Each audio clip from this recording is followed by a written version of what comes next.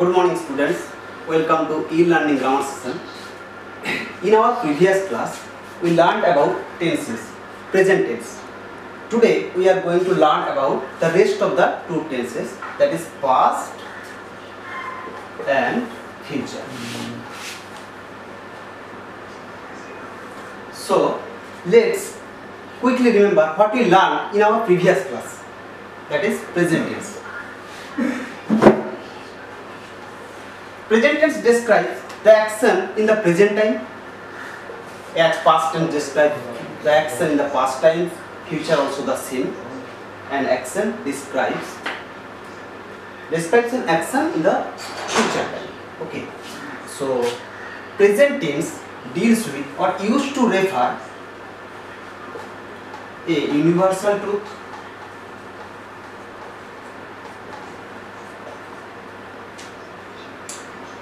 an habitual action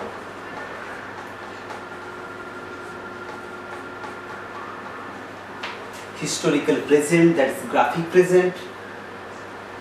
An action that is just complete and practice custom habit. Okay that's the all about present tense. That we learned in our previous class. Now past tense as we know that tense is the change of form in a verb to express the time of an action, the time of an action. So past tense describes an action in the past time, past and future also the four forms that is simple or indefinite.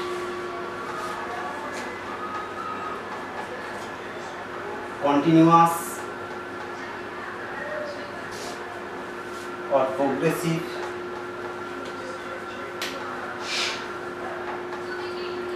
Perfect and perfect continuous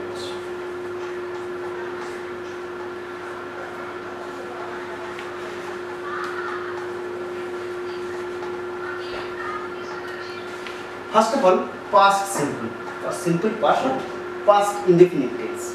Past indefinite tense is refers to a single act, a single act. Past indefinite tense refers to a single act. As example, I did it. Past indefinite tense also refers to an action actually going on in the past time. An action actually going on in the past time. As example while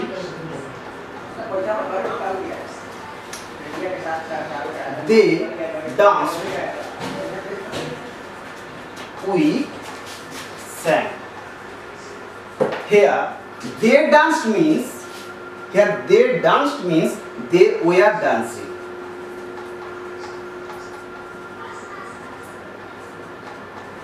and we sang means we we are singing. And that's why the rule is an action actually going on in the past time okay? Past indefinite has another rule that is it used in habitual habitual action in the past time. Habitual action in the past time. As example, he studied. Studied hard. That means he used to study. Used to study. That's why it's called habitual action. Okay and the structure of these tense is subject, verb and object. B for verbs, S for subject, O for object. Subject, verb, object. Here, verb is the second form or past form.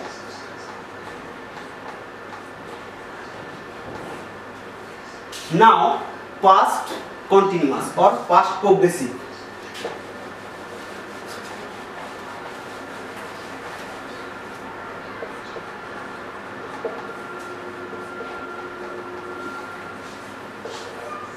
Past continuous describes an action that was going on in the past time. That was going on, going on in the past time.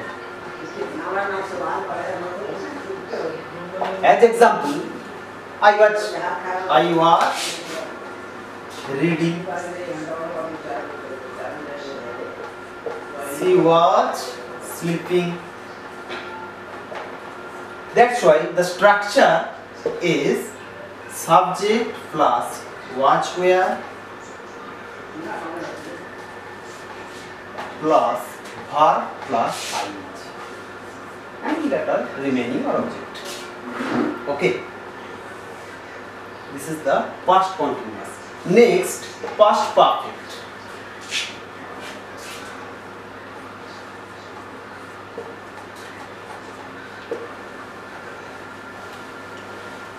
So the past perfect is here an action complete.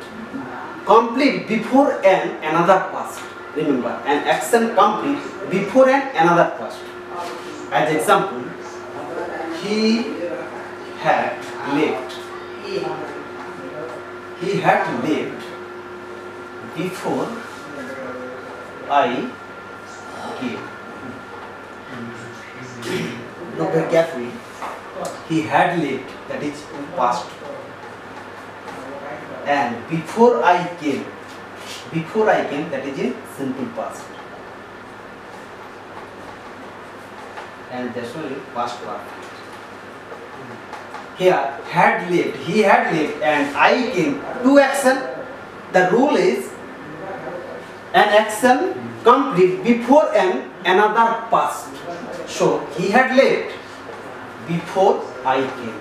That's why the he had left, which is the action which is more earlier is in past perfect and which is less earlier is in past simple past. Okay. Now past perfect continuous.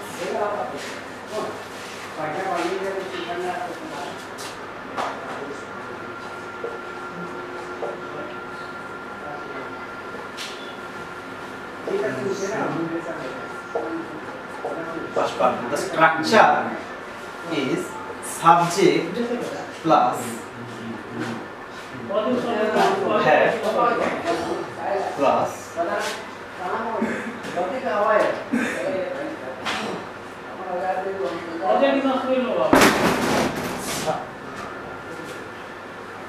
subject plus had plus verb plus object. Here the verb is past participle form of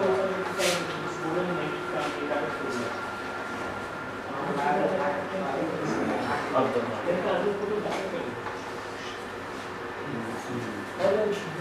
Next past perfect continuous.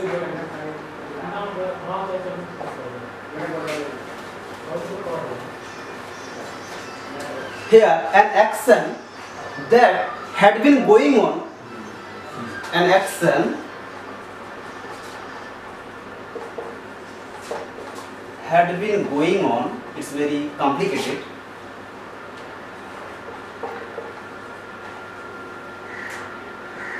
At or before some point of time.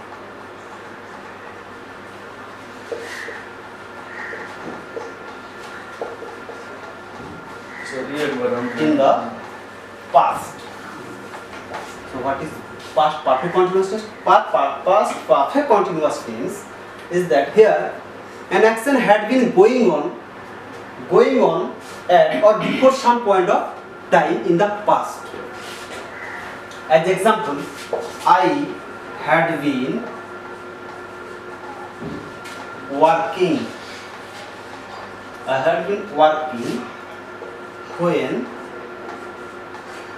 he came. Okay, I had been working. So the structure is I subject had been working verb plus ing and then object and remain. So now future. Future, as we know, future an action here an action, an action will be happen. An action will be happen in the future time. An action will be happen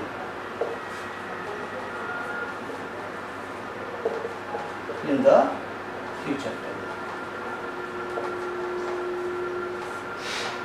That will future indefinite tense. Here an action will be happen in the future time. And the, as example, I shall go.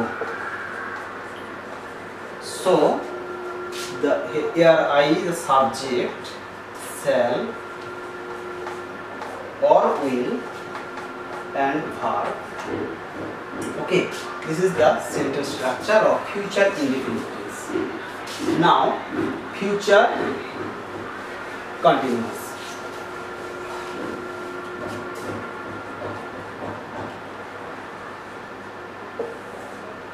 Here, an action, future continuous, an action will be going on in the future time. An action will be going on at future time. That's why, as example, I wa I shall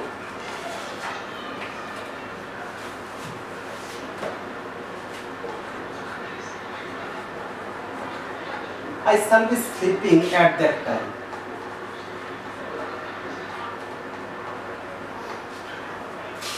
I shall be sleeping at that time. That means an action that's going on in the future. Here sentence structure is subject plus shall will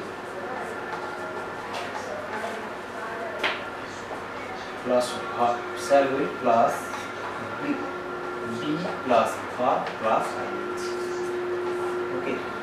Next, future perfect tense. Future perfect tense is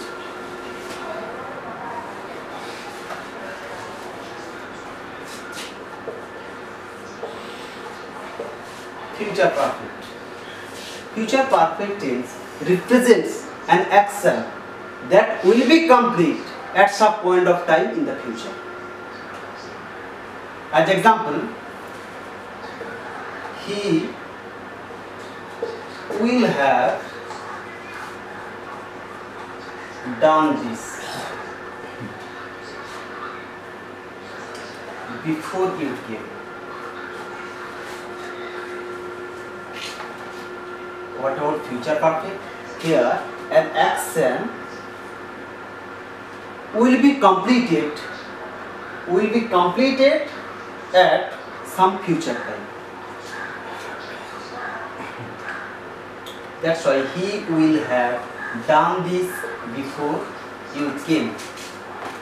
The sentence structure subject plus shall have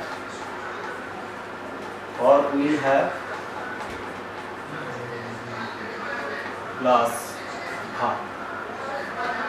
And here the verb past participle for the verb.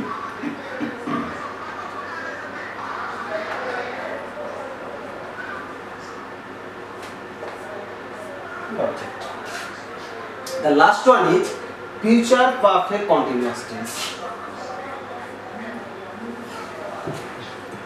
Actually, practically, it has no use. Future perfect continuous tense practically has no use. to here, future perfect continuous tense to express an action that is assumed to be going on in the future. Okay, assumed. Remember the term. Here, the action is assumed to be going on in future time.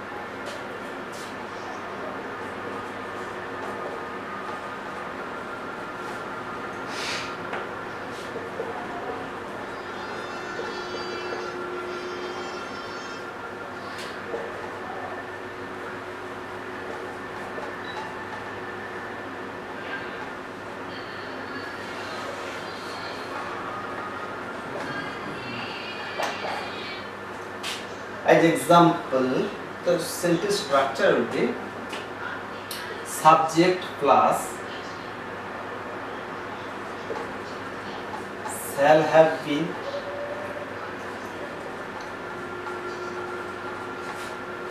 will have been plus verb plus ing. That is the structure of future continuous tense and practically it has no use. Thank you.